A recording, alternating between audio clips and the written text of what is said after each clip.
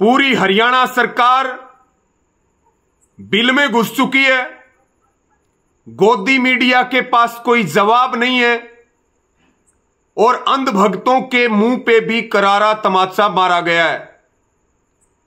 साथियों, हरियाणा के कृषि मंत्री जेपी दलाल, जब शाहबाद में 6 जून को किसानों पर लाठीचार्ज और बर्बरता हुई तब जेपी दलाल ने एक बयान दिया था कि ये किसान नहीं है, ये गिरोह के रूप में काम कर रहे हैं। और सरकार अपनी बात से पीछे नहीं हटेगी। अब 31 घंटे के आंदोलन के बाद सरकार ने जीप बाहर फेंक दी। किसान जीत करके अपने घर गया। तो सरकार को फिर घुटने टेकने पड़े। सरकार को तो चुल्लू भर पानी में डूब के मर जाना चाहिए, लेकिन हम जेपी दलाल से यह ज़रूर पूछना चाहते हैं कि अगर हम गिरोह हैं तो फिर हमारी मांग क्यों मानी गई?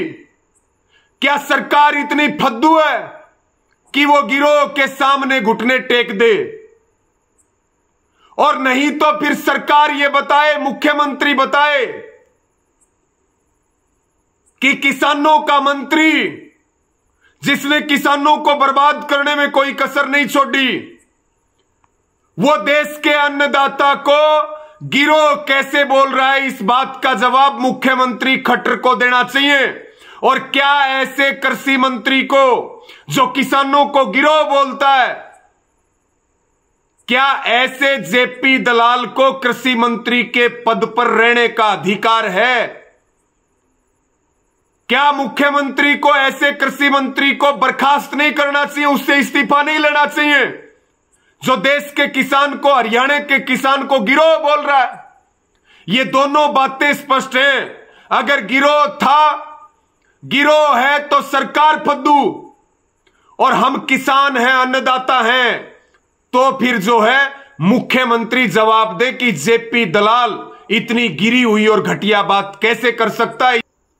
और जो सरकार बात नहीं कर रही थी, बात नहीं सुन रही थी, उस सरकार के घुटने टिकवाए और सरकार को नाक रगड़ के किसानों को चौसठ सौ रुपए एमएसपी सूरजमुखी की, गिरफ़्तार किसान नेताओं की और किसानों की रिहाई और जो मुकदमे छह और सात जून को हुए उनकी वापसी ये मांगे सरकार को माननी पड़ी। खट्टर सरकार ने एक बार फिर थूक करके चाटा। फिर किसानों की जीत हुई। और साथियों, ये जीत आपकी एकता की है। सारे किसान संगठन, सब किसान नेता, सब किसान इकट्ठे होकर के लड़े। और मैं धन्यवाद करूँगा सभी गुरुद्वारों का, जाट धर्मशाला कुरुक्षेत्र का तमाम गाँवों का, तमाम संस्थाओं का, जिन्होंने लंगर चलाए, सेवा की, और कुरुक्षेत्र के किसानों को विशेष सैल्यूट की, उन्होंने केवल आंदोलन नहीं जीता, उन्होंने हम सबका दिल भी जीतने का काम किया, इतना अपनापन दिया।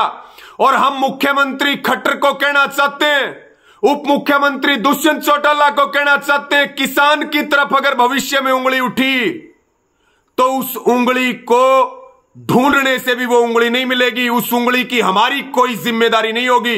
किसान की तरफ़ अगर आँख उठी, किसान पे जुल्म और अत्याचार हुआ, हम सब मिलकर के लड़ेंगे और सरकार के घुटने टिकवा करके सरकार को हराएँगे।